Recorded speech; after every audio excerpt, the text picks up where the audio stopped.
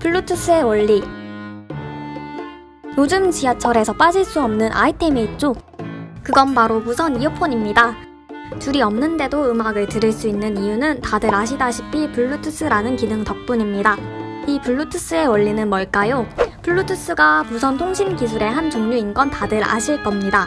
무선 통신은 주파수를 매개로 하는데 먼저 주파수의 원리를 알고 싶으시다면 누막과 우화 무선 통신의 핵심 주파수에 대해서를 먼저 참고해 주세요. 오늘의 주제로 넘어와서 그럼 블루투스는 이 주파수를 어떻게 이용할까? 바로 알아봅시다. 블루투스는 전자기파의 주파수를 사용하여 짧은 거리 내에서 데이터를 보낸다는 점은 와이파이와 같습니다. 하지만 블루투스는 와이파이와 다른 점이 있죠. 와이파이는 한 방향 통신인 것에 반해 블루투스는 쌍방향으로 통신을 합니다. 기기 간 정보 교환이 가능한 것이죠. 옛날에 2G 핸드폰 간 블루투스로 사진 교환을 하시던 것 기억하시나요? 이처럼 블루투스는 기기 간의 정보 전송이 가능합니다. 또 하나, 블루투스는 주파수를 사용하는 방식이 특이합니다. 블루투스는 ISM이라고 불리는 주파수 대역대를 사용합니다. 이 주파수 대역대는 산업, 과학, 의료 영역 용으로 따로 허가 없이 사용 가능하며 무선 랜, 무전기, 블루투스 등의 기술들이 이 대역대를 사용하고 있습니다. 와이파이도 블루투스와 같은 2.4GHz 이 대역대를 사용합니다. 많은 시스템들이 이 대역대를 사용하기 때문에 전파 간섭이 생길 수 있는데요. 블루투스는 이를 걱정할 필요가 없습니다. 바로 그 이유는 주파수 hopping입니다. 영어로 frequency hopping이라고 하는데요.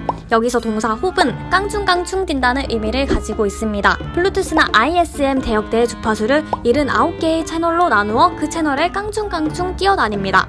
1초에 1600번 주파수를 아주 빠르게 바꾸면서 데이터를 전송하는 것이죠. 참고로 주파수 hopping을 하지 않는 와이파이의 경우 와이파이는 차고 개폐문 또는 baby monitor와의 주파수 간섭 문제가 있을 수 있습니다. 주파수 hopping을 하기 위해서는 블루투스 기기 간의 동기화가 필요한데요. 블루투스 두 기기 간의 단거리 네트워크는 piconet이라고 부릅니다. 참고로 피코는 아주 작은 단위를 뜻합니다.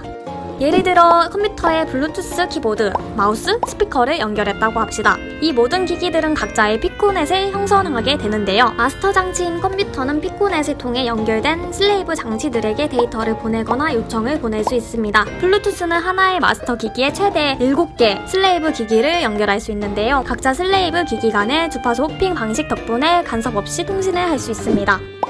블루투스는 1999년 출시되어 지금까지도 버전이 계속 업그레이드 되어 발전해 왔습니다. 생각보다 나온 지 오래됐죠? 지금은 이제 일상생활에서 빼놓을 수 없는 기술이 되었습니다. 오늘 영상 어떠셨나요? 블루투스 원리 잘 섭렵하셨길 바라며 누막과 펄하는 여기서 마치겠습니다. 시청해주셔서 감사합니다.